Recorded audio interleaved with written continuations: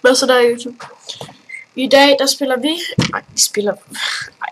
I dag der øh, vil jeg gerne komme med en lille bitte hurtig update. Um, jeg vil gerne sige, ja, grunden til... Gå væk. Øh, grunden til, at jeg øh, ikke har lagt videoet i meget lang tid. Det er i hvert fald to uger. Det er fordi, jeg ikke har haft internet i eller anden tid. Det var bare lige en hurtig update, og øhm, ja. Fuck, du gør okay. Ja, jeg har i min side her.